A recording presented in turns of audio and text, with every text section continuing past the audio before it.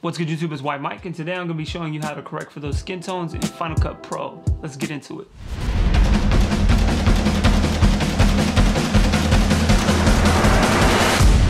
Alright, so to go ahead and correct those skin tones, let's jump into the Mac desktop here, open up the video editor, and then I'm gonna walk you through the process. So the first thing you wanna do is open up Final Cut Pro. I'm Gonna go and turn the browser window off here, turn on my effects window, and you see I have a clip loaded in the timeline. And the way I'm gonna correct for the skin tones, first thing I'm gonna do is add an effect for LUT.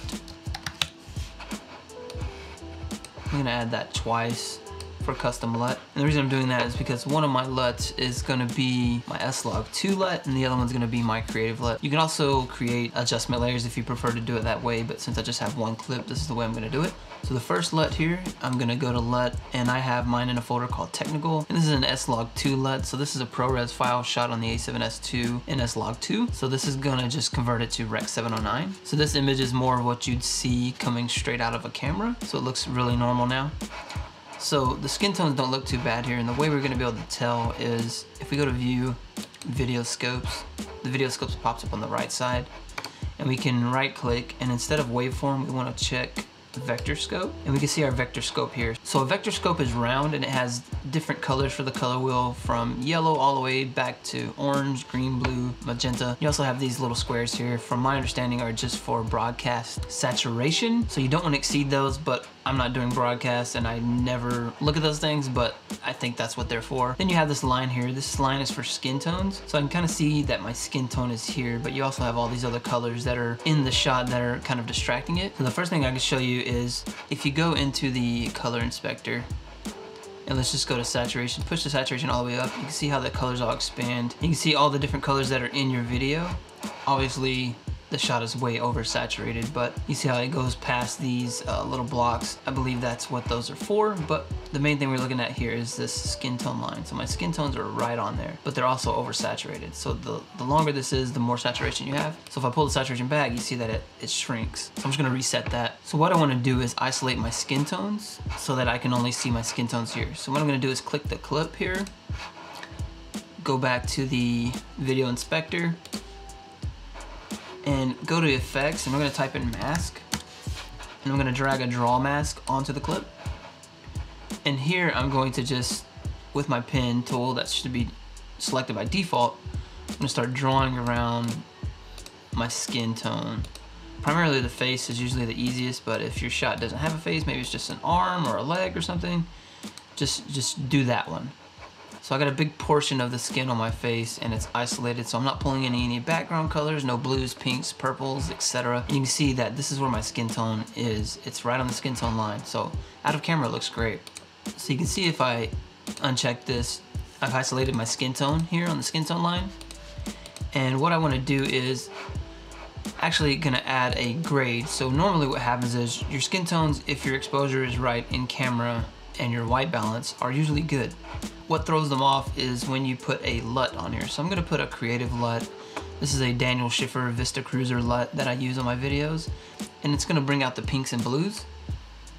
So when I do that, you can see that the, the magentas and the blues are really saturated and my skin tone is moved off of this line so it's actually going towards a red magenta and you can really see that here so if I turn this on and off you can see how the colors have moved I like the grade I'm getting here, but I'm gonna push it back to about, I don't know, 50, 50%. Skin tones have gotten closer to the line, but they're still not on the line. So what I'm gonna do now is actually turn my mask on, and you can tell that it's not on the line yet. So the next thing I wanna do is go to the color inspector again, select where it says color board, and add a color wheels. And here we can adjust for our skin tone. So a lot of videos you'll see, they'll tell you to actually take the master and adjust it to get the skin tones right, but what you've done is you've actually shifted all those colors in the video. So what's the point of the LUT if you're just gonna shift all the colors? So you can see as I'm clicking it on and off that the colors have changed. What we wanna do is actually just isolate the skin tones. So I'm gonna double click that to reset it. And the way we're gonna isolate these skin tones is this mask icon here at the top right. Click that and do add color mask. Now find an area of the skin that is not touching any other colors. So a good big patch like on the cheek or the forehead, just click and start dragging and you'll see that we're starting to isolate the skin tones here. So I can pull up until I get the portion that I want. Now if I keep going further, it's gonna start selecting more colors that it touches, right? I can also look at my scope over here and see what colors I'm selecting.